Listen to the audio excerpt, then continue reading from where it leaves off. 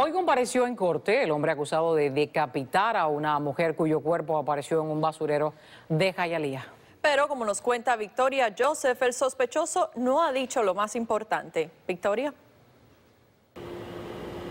Ivette Yelenis, muy buenas noches. Tras ser arrestado, el presunto asesino confesó haber degollado y matado a su tía tras una discusión y haberla lanzado en este basurero. Sin embargo, a esta hora, la cabeza continúa desaparecida.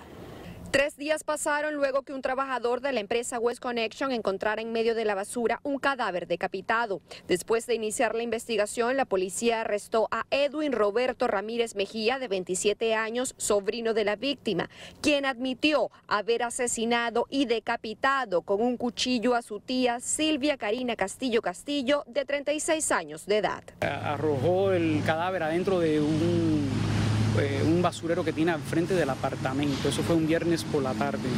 El lunes por la mañana, ese basurero fue recogido en la ciudad de Miami y lo trajeron aquí a la ciudad de Hialeah. Según las averiguaciones, la víctima habría ido el viernes a la casa de su sobrino, ubicada en la 10 Avenida y 4 Calle al suroeste de Miami. Esto para hablar de un negocio familiar en su natal Guatemala. De momento se inició una discusión que desató los instintos más bajos de Ramírez. No hay palabra para describir la, impresión que se puede dar uno encontrarse algo así. Me estoy enterando porque vi la policía, de ahí no sabía nada.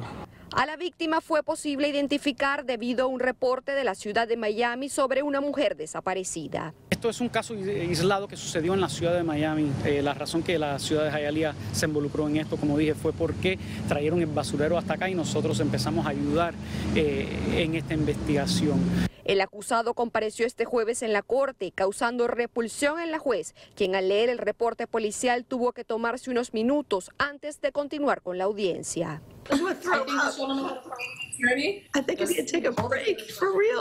En la vivienda de Ramírez fue encontrado el cuchillo con el que presuntamente decapitó a su tía. El implicado está siendo acusado de asesinato en segundo grado y disposición de un cadáver.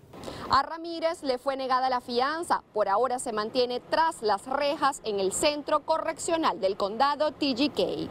Para América Noticias les informó Victoria Joseph.